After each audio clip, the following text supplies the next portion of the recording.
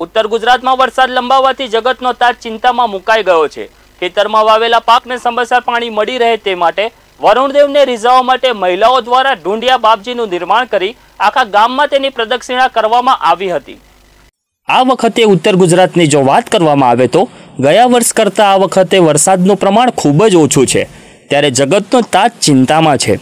પશુપાલક માટે વાવેલ ઘાસચારો અને કપાસ જેવા પાકોને હાલ વરસાદી પાણી મળી રહે તે માટે મહેસાણા જિલ્લામાં આવેલ રંગપુર ગામે વરુણદેવને રીઝવવા માટે ગામમાં ચાલતા મહિલા મંડળ દ્વારા માટીના ઢૂંઢિયા બાપજીનું નિર્માણ કરવામાં આવ્યું છે.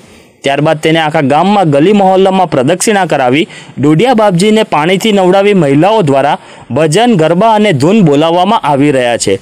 પશુ પંખી માટે પણ ચણ ભેગું કરવામાં આવી રહ્યું છે. Atul Patel live Gujarat news Mehsana.